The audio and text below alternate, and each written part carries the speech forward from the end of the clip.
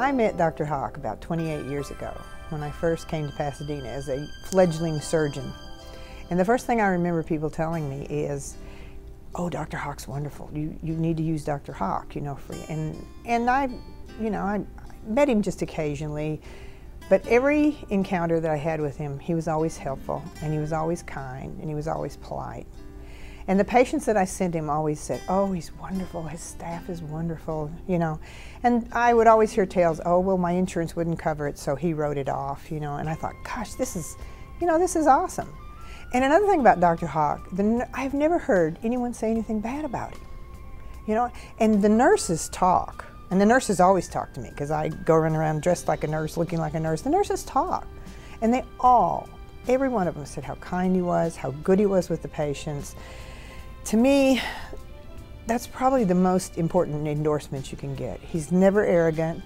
He's always so informed on everything. He's when I go to tumor conference, you know, I mean, I'm a doer. I take care of things, I, I take care of people, but as far as really staying up with the, the forefront of, of breast cancer, he does. And he knows all the literature, even the literature that's not in his field. And I always learn from him. I always learn from him. And, and just being with him is always an inspiration. And he, he reminded me of a very important thing I was saying in tumor conference. I said, you know, if you take the R out of breast, you have a beast. He said, Oh, yes, Dixie. But if you take the R and the A, you have the best. So I said, only a man would think of that, but that's a very good way to think about it.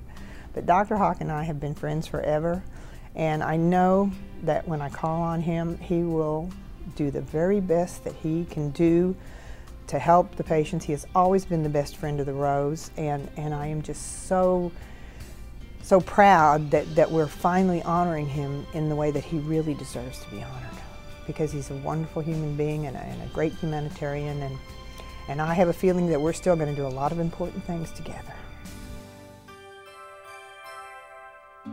I've been, you know, associated with the Rose from its very beginning, and, and the best and the greatest memory is the feeling of uh, reaching out to people who could not get help otherwise uh, and be able to do it for uh, such a long period of time for so many people and providing such great help uh, that I wish there were you know more organizations and more people who would be doing this.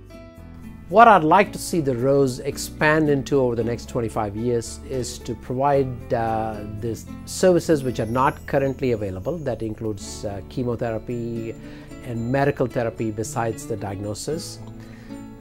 But my, in my own heart, I'd like the Rose to move towards providing preventative services uh, besides providing diagnostics and treatment services. It's good that we can treat the disease, but it would be awesome if we can actually prevent the disease. It would not require, a, you know, it would not require a lot of resources, but getting the Rose to start thinking of providing uh, advice and measures which can actually decrease the risk of disease would be a much bigger help for the community than uh, what we're already providing from the Rose. The biggest need for the Rose right now is uh, one, to expand to other parts of the city, and two, to provide services which it does not currently provide. Uh, currently, it provides diagnostic services in a very uh, efficient and excellent manner, uh, but it has very limited resources for treatment most of the treatment is now channeled through the navigation to either uh, public services or to a care of volunteer physicians.